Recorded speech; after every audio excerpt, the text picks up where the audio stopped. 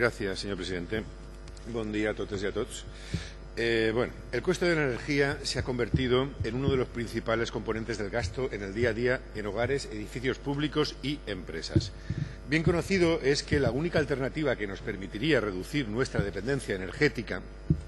que nuestra economía no estuviera condicionada de forma tan determinante por los precios de los combustibles fósiles, no ser tan vulnerables a sus oscilaciones y reducir la factura energética a medio plazo es el impulso de las energías renovables. Una ventaja fundamental de estas tecnologías limpias es que se trata de fuentes renovables autóctonas, que no emiten gases de efecto invernadero, por lo que combaten el cambio climático y que, al mismo tiempo que aportan autosuficiencia energética, evitan los costes económicos de la compra de derechos de emisiones de CO2. Por el contrario, ahondar en la apuesta por los combustibles fósiles y no renovables es seguir ahondando en un modelo que nos lleva periódicamente a graves recesiones económicas y, definitivamente, nos llevaría a una crisis climática global en la que el modelo socioeconómico valenciano sería especialmente vulnerable. Las energías renovables son una realidad en la Unión Europea y, curiosamente, el único Estado de la Unión que no las está impulsando adecuadamente, pese a las directivas que marcan esta normativa, es el, Estado español.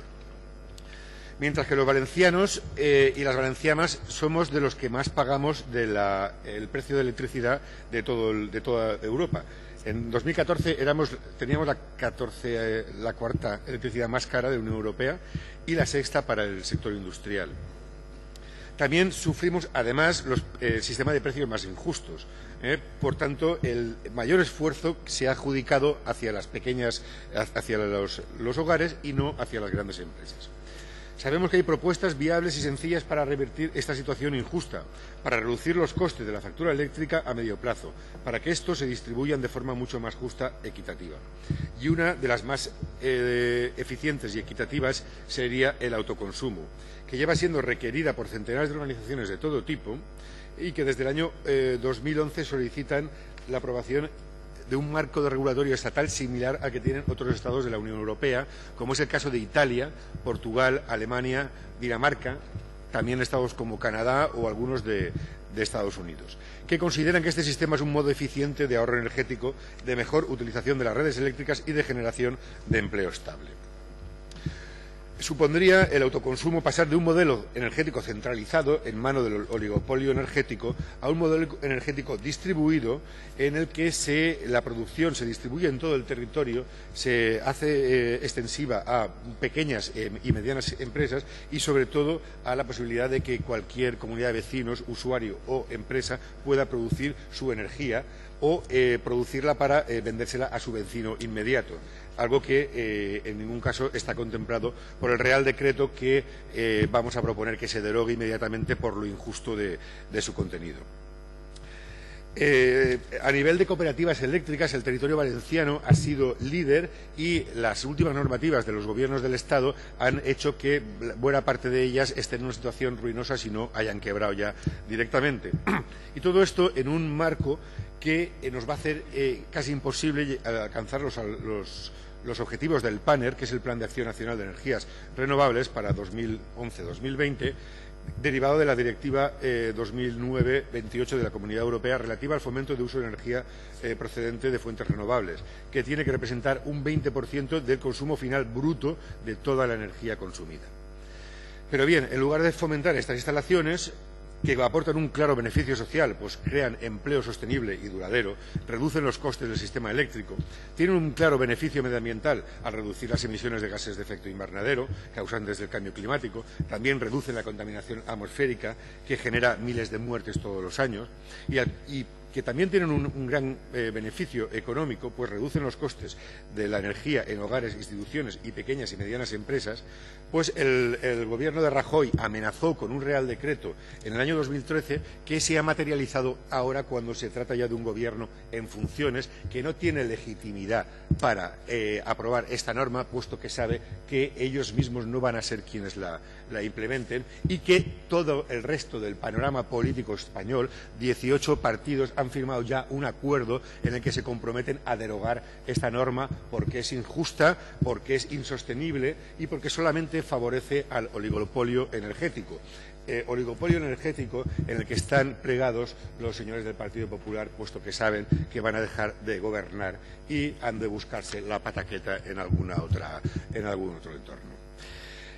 Los estados que sí que han estado apostando por las energías renovables, como es el caso de Alemania, la energía procedente del autoconsumo instantáneo no solo no lleva peaje de acceso, sino que se incentiva en, la producción de, energía con el objetivo de fomentar el ahorro y evitar el vertido a la red, mejorando así la eficiencia energética y reduciendo pérdidas de energía. Es que el autoconsumo, además, eh, beneficia a toda la sociedad porque evita eh, los picos de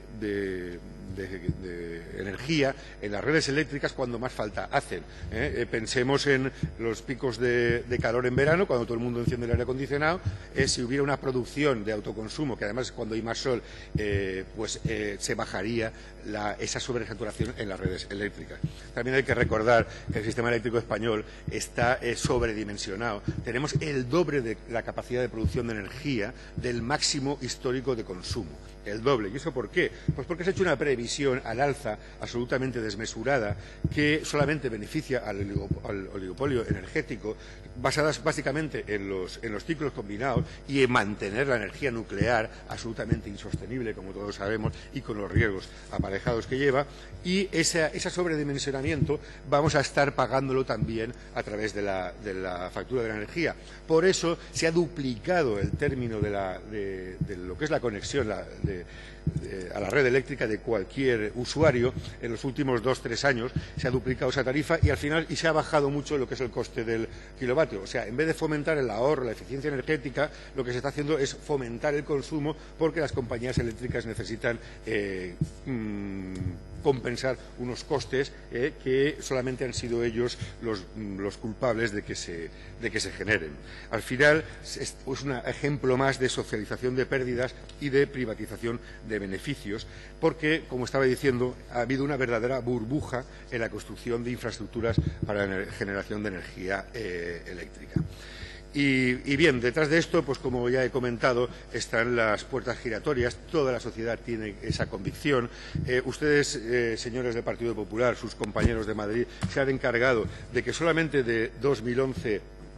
a 2014 hayan bajado el número de empleos en, todo el Estado español de más de 120.000 a 70.000 en lo que es energías renovables, empleo directo e indirecto. Ustedes son responsables de que cada vez haya más familias que, están acuciadas por la pobreza energética eh, que eh, alcanza a, más de 350.000 personas en la comunidad valenciana solamente en el año 2014. Y bien, por eso promovemos y esperemos el apoyo unánimo de esta Cámara la derogación inmediata del Real Decreto 900 de 2015 de, 9 de octubre, por el cual se regulan las condiciones administrativas, técnicas y económicas de las modalidades de suministro de energía eléctrica con autoconsumo y de producción con autoconsumo. Y promovemos una serie de medidas que he estado explicando, que ya hemos defendido en otras,